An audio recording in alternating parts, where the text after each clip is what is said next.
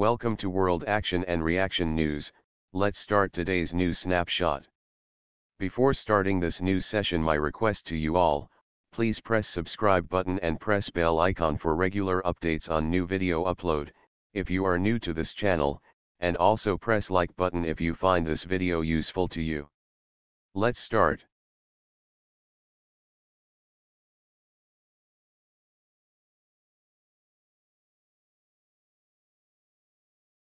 In a move that will help meet delivery deadlines, Defense PSU Hindustan Aeronautics Limited, HAL, has decided to outsource majority of the production work of light combat aircraft, LCA, Tejas. The move will see private firms make nearly 70% of the aircraft.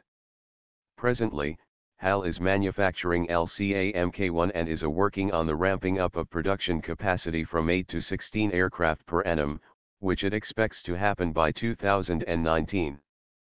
Major subassemblies such as front fuselage, center fuselage, rear fuselage, wings ETL, have been outsourced to private industry. The orders have been placed and they need about an year to supply these.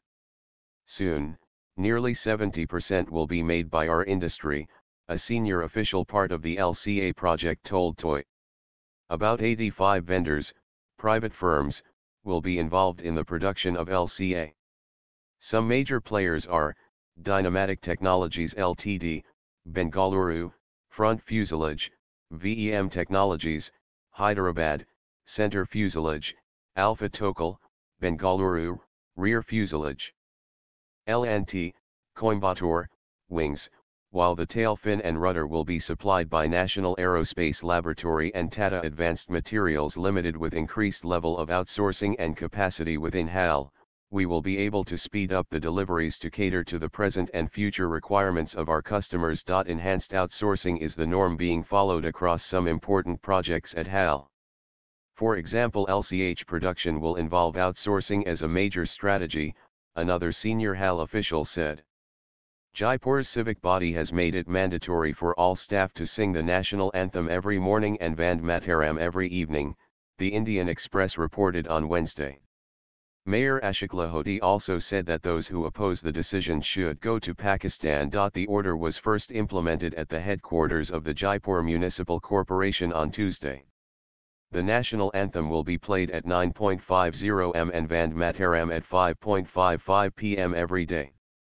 After the national anthem is played, the biometric attendance system will not accept any more entries, according to India Today. The 2017 report of the Fragile States Index places Pakistan among the first 20 failed countries, which should be worrisome for Islamabad. Instead of continuing with the low-intensity war against its neighbors, Pakistan should make efforts to implement reforms in diverse fields. Pakistan was carved out of India on the basis of the two-nation theory broadly intended to foster separation and hatred. This philosophy persists today, with greater vengeance.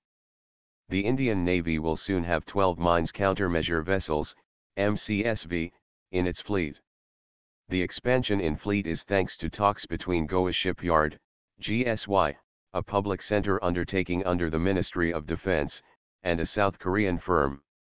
The MCSV are naval ships used to destroy naval mines.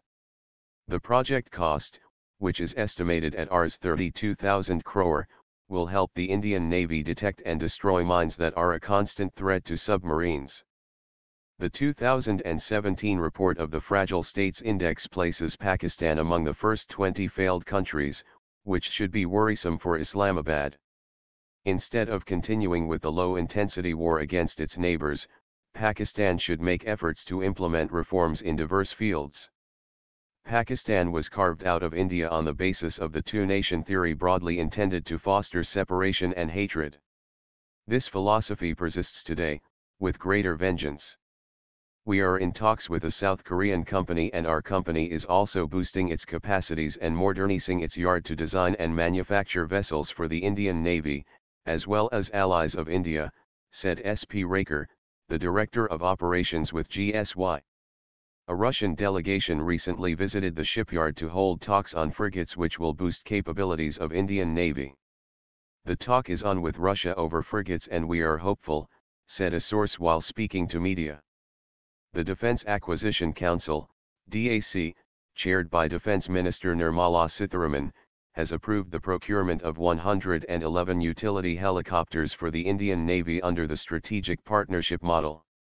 About 16 will be taken in flyaway condition and 95 will be done in later stage by the Indian manufacturer, said a Defense Ministry official who did not wish to be named. The choppers will be procured under the Defense Ministry's new strategic partnership model that aims to localize manufacturing. Under the strategic partnership model, the government will shortlist and then pick Indian companies to join forces with foreign firms to make fighter jets, helicopters, armored vehicles and submarines. Indian firms Larsen & Toubro Ltd, Mahindra and Mahindra Ltd, Tata Group and Adani Group, among others are likely to benefit the most from this new policy. The government will now start the process to identify a foreign helicopter maker and an Indian defense firm for a joint venture for the project. The Indian Air Force, IAF, will participate in a two-week-long multilateral air exercise in Israel beginning Thursday. It is for the first time the IAF will operate with Israeli Air Force in a multilateral exercise setting. A 45-member contingent of IAF left for Israel today to take part in Blue Flag 17, the Defense Ministry said in a statement.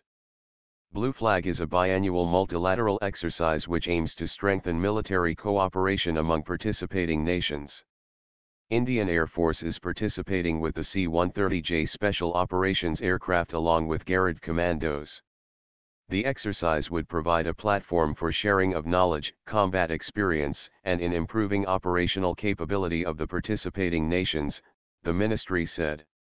The exercise is being conducted at Ovda Air Force Base in Israel from November 2 to 16. Cancellations and delays have bogged the Indian Navy's plans to induct the Scorpene-class submarine, a critical asset for the forces. Though the first Scorpene submarine Kalvari was delivered in September to the Indian Navy at the Mazagon Dock shipyard, its commissioning continues to be held over for one reason or the other. The Navy could be looking to commission INS Kalvari next month, sources pointed out, timing it with the 50th year of Indian submarine operations. The Indian Navy's submarine arm was founded in December 1967. An indigenous test rig for head-up display, HUD, units of aircraft has been developed by the Central Scientific Instruments Organization, CSIO, here that will replace imported equipment in use at present, thereby leading to significant cost saving.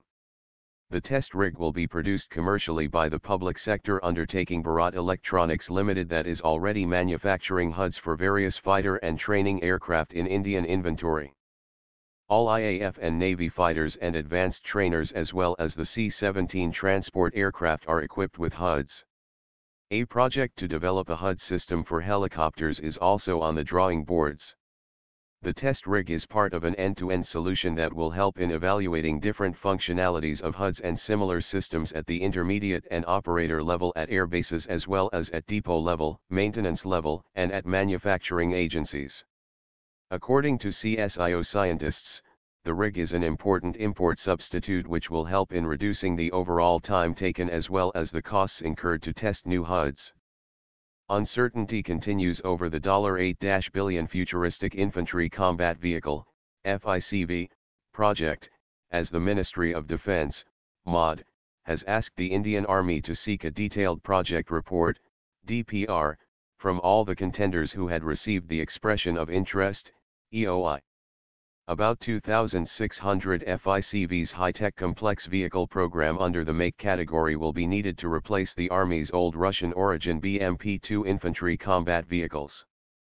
Project FICV will have an expected lifespan of 32 years. Sources told FE, the Integrated Project Management Team, IPMT, has been asked to seek detailed reports from all the companies, as the mod has not been able to down-select any of the companies who have responded to EOI. This entire process of getting report from all the vendors is expected to take more than a year, the source added. Preliminary Services Qualitative Requirements, PSQR, will act as guidelines during preparation of DPR.